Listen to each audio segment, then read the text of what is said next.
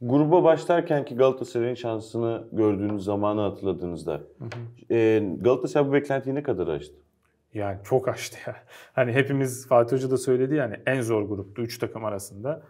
Ee, dördüncü torbadan geliyorsun sen de söyledin. Yoluna devam eden tek takımsın. Temmuz'da açmışsın şeyi sezonu. Baya böyle İskoçya bir, bir acayip deplasmanlardan evet. adını ilk defa duyduğumuz takımların deplasmanlarından geliyorsun. Ee, sıfır yenilgi. Ee, 12 puan. Ee, 3 tane gol yedi Galatasaray. Evet. Lazio deplasmanında gol yemiyorsun falan. Hani yani bu, bu, bu, bu çok o, sınırlı yani beklentiyi aşmaktan ziyade e, hayalleri de aşmanın ötesine geçiyor. Çünkü bir hayal kuruyorsun bu grup çıktığından diyorsun. Yani buradan ikinci olsa Galatasaray. Çünkü Lazio var, Marsilya, Sampoli, Sarri, Lokomotiv Rus takımı hep şeydir yani. Rusya deplasmanı falan. Yani biz o hesapları yaparken Fatih Terim de bir hesap yapıyor. Ve günün sonunda hesap önümüze geldiğinde e, şeyi görüyoruz yani hesabınız ödendi. Kim ödedi ya bizim hesabımızı diyoruz. Fatih Hoca oradan bize şapka çıkarıyor. Biz de ona ceket ilikliyoruz. Kura çekimi 13 Aralık'ta Türkiye saatiyle 17'de e, Galatasaray kurası belli olacak. E, bir turda attı böyle gitti Galatasaray. Öyle bir rahatlığı da oldu. Şimdi akıllarda hep bir soru. Galatasaray burada 12 puan yapıyor. Lazio'lu, Marsilyalı, Lokomotifli gruptan lider çıkıyor. Ligde niye bu performans yok? Ligdeki Fatih Terim, Avrupa'daki Fatih Terim arasında, ligdeki oyuncularla Avrupa'daki oyuncular arasında bir fark var mı? Nedir? Nereden kaynaklanıyor bu fark? Çünkü Galatasaray'ın az önce ilk başta söylediğim gibi e, bu maç başından son, sonundan bağımsız bir maç. Yani bu maça çıkacaksın, yenilmeyeceksin ve konu kapanacak. Turnuvaların böyle bir artısı var. Yani mesela Fransa'nın şampiyonluğunda, Portekiz'in şampiyonluğunda, işte daha eskilerden Yunanistan'ın şampiyonluğunda hep belli bir konsept içerisinde doğru planlanmış oyunlar vardı. Yani onun devamının getirilememesinin sebebi de yani onun devamını getirebilen bir 98 ve 2000 Fransa'sıydı. Bağımsız futbol oynayan, üstünlüğünü herkese hissettiren. Ama Portekiz'de, Fransa'da çıktı. Evet beyler gruptan çıkmamız lazım. Gruptan bizi çıkaracak oyun bu rakiplere göre bu. Tık.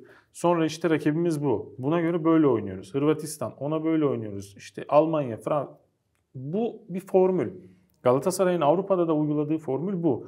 Ligde bunu uygulayamıyorsun. Yani şöyle düşünelim. Mesela Galatasaray'ın işte bu, bu hafta ligde rakibi kim? O kadar çok maç var ki aklıma gelmiyor. Sivas. Sivas. Sivas. şimdi Sivas Spor'a bir yani Cagney'i stoperlerin arasına sokup Babel'i yarı sahanın ötesine çok fazla geçirmeden top tutsun, oyun yumuşatsın diye e, başlayıp 70. dakikada 5-3-2'ye dönüp maçı 0-0 bitirebilecek bir formül olur mu? Olmaz. Orada roller değişiyor.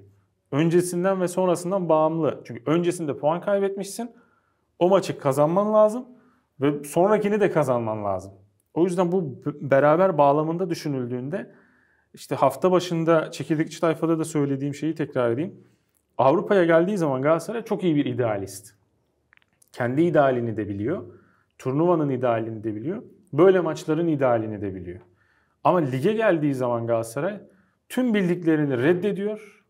Bir hiçe inanan nihilist gibi yok diyor ya ben ben diyor yani her şeyi reddetmiyorum. Hiçbir şeye inanıyorum ben. Yani o yüzden bir bakıyoruz Galatasaray hiç alakası olmayan bir oyun oynamaya başlıyor. Savunma açıkları, bekleri oyuna dahil edememiş. Şimdi dün şu dün Cagne 6 ikili mücadeleye giriyor. 5 tanesini kazanıyor. 6 tane top uzaklaştırıyor. E bu istatistiği yapabilen bir oyuncuyu bununla beraber üzerine koyarak bir lig formülü geliştirebilir mi? Bence geliştirebilir çünkü bir idealini, kendi idealini biliyor. Ama ligde bu olmuyor. Yani bunun en e, toplum tarafından yapılan açıklaması yani ligi çok önemsemiyorlar artık. Zaten Trabzonspor koptu. Yakalayamayız. Bari Avrupa'da ilerleyelim. İşte bir UEFA Avrupa Ligi şampiyonluğu neden olmasın? Doğru neden olmasın? Ama diğer tarafta da daha 15. hafta. Yani bu 20. Mart'ta olsa mesela bu derim ki aman tamam yani Mart'a gelmişsin zaten kalmış şurada 1, 2, 3, 4, 5, 6 tane maçın 6 maç sonra Avrupa'da finaldesin. 3 tane rakibe bakar. E 3 tane rakibi zaten ekarte etmişsin. Olur.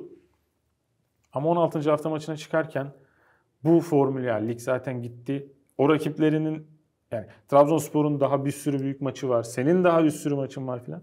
O bana çok şey gelmiyor. Makul bir açıklama gelmiyor. İkisiyle beraber gidilebilir. Ee, açıklama bu ama ba- bana şey gelmiyor, ikna etmiyor. beni. Olur mu Avrupa peki? Dün eminim gibi çok Galatasaraylı açtı baktı Avrupa Ligi'nde kimler var, muhtemel rakipler, biz ne zaman oynayacağız maçları, kura çekimi ne zaman, e, nereye gidebiliriz biz, yine olur mu? Hepsine baktılar büyük ihtimalle. Ya doğru e, bu inanış var. Şimdi bir tarafta zor rakipler var. Ama bir tarafta da şimdi o Şampiyonlar Ligi'den gelenlerle ikincilerin eşleşmesiyle düşecek takımlar var. O zorlar saydığımız zorlar içerisinde. Bir de son 16'ya kalıyorsun. Yani dediğim gibi 3 tane rakibe bakıyor. 3 tane rakip sonra finaldesin. Bu çok değerli bir şey yani Avrupa'da kalmak. Fenerbahçe bölümünde de bunu konuşalım mutlaka. Konuşacağız da zaten. Yani ben yani istiyorum ve inanıyorum. Ama şimdi Barcelona var. Ne bileyim hani Napoli var. West Ham var. Bunlar tehlikeli takımlar. Bunlar sıkıntılı takımlar. Ee, ama işte o tek bir formülle, tek bir maçlık formülle işi kotarmak. E tabi o maça çıkıp beraberlik yetmeyecek. Bir şekilde işi götürmek lazım ama yani bir de hani e, Ocak ayını da görmek lazım Galatasaray için. Yani belki Transfer eksikleri dönemi. giderecek evet transfer döneminde. Yani burada çok para harcanmadan da eksik giderilebilir. Sonuçta Berkan çok şaşalı bir transfer değildi ama çarkı çok iyi işleten ya da Markao. Ee, o yüzden ya da işte Morutsan çıkıldı. Şimdi bugün Galatasaraylıların çoğu ah çıkıldı olsaydı diyor lig içinde. Belki Avrupa içinde. O yüzden neden olmasın pozisyonundayım ben şu anda ama e, temkinli bir neden olmasın. Transfer dönemi için dünkü maç bu arada kritik görülüyordu. Yani Hı hı. takım içinde o transfer stratejisini belirleyenlerin gözünde. Ee, şu andaki artık biraz daha rahatlandı. Hedefimiz var yine Avrupa'da. 6-8 e, bir kanat oyuncusu. Eğer Cagney ile e, Mustafa Muhammed'de ekstra bir gelişme olursa bir santrfor kısmında tane. 4 4'e kadar gidebilecek bir transfer. Ama 6-8 özellikle e, iki oyuncu oraya takviye yapalım kısmı var ki 8 numara işi zaten Jetson. Büyük ihtimalle Jetson gelecek. Tabii işin ekonomisi önemli işte yani bu kur kurun gel, geldiği noktada ekonomi bayağı zorlayacak kulüpleri. Şüphesiz. Orada işte doğru scouting ağıyla doğru isim bulmak illa lüks isimlere gitmeye gerek yok. Beşiktaş bölümünde konuşacağız. Her zaman çalışmayan bir formül. Başında kimsenin itirazı olmuyor ama günün sonunda futbolda sonuca bakıyorsun. Ee, 4 transfer iyi olur yani Galatasaray için. 4 yani ben ben bana ben 2'deyim. Ben 2 ile de bu işin Bence çözüleceği de. taraftarıyım Evet ama bence de. olursa bir 4 Galatasaray'ı çok rahatlatır. Bakalım Galatasaray nereye götürecek? Umarız Avrupa'da zaten çok ihtiyacımız var. Ee, olabildiğince öne götürür Galatasaray. Final görürüz, kupa görürüz. Ee, çok ihtiyacımız var. Galatasaray bölümünü böylece noktalıyoruz.